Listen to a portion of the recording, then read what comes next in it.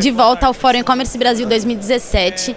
As pessoas acabaram de sair da, da palestra do, do Rodrigo Rodrigues, do Google, e ele falou sobre Google Analytics. E a gente trouxe aqui o Rafael da F-Bytes, que é uma pessoa que sabe muito bem sobre Google Analytics, para comentar algumas coisas básicas. Rafael, muito obrigada.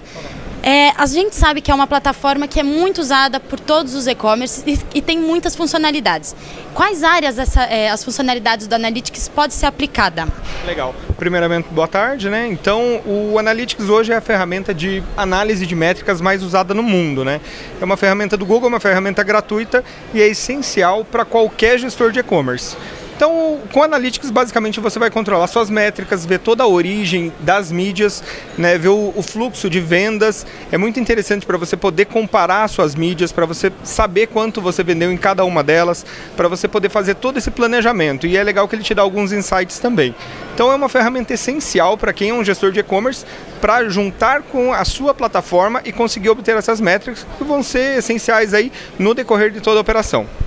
É uma plataforma muito grande, muitas funcionalidades. É, quais são essas funcionalidades que são pouco usadas? Legal a principal funcionalidade do Google Analytics, que eu falei, é a parte de mídias. Então, o que eu recomendo é sempre em aquisição, origem barra mídia, para você controlar o tráfego que essas mídias trazem para o seu e-commerce.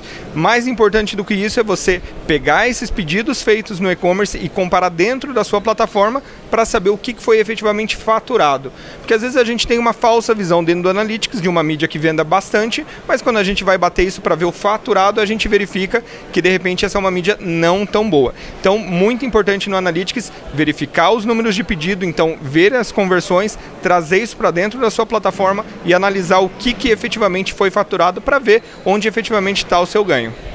Na sua opinião, o Analytics ele pode ser, ele deve ser usado por pequenos, médios e grandes varejos ou por, sei lá, só grandes? O Analytics ele é a ferramenta mais utilizada no mundo em gestão de métrica, então todo mundo que lida com e-commerce tem que saber usar e tem que saber usar bem. O Google oferece as certificações que são gratuitas e já ensinam a pessoa a mexer muito bem no Analytics. Então, a minha dica é, se você mexe com e-commerce, saiba Google Analytics do pé à cabeça. Rafael, muito obrigada pela sua participação.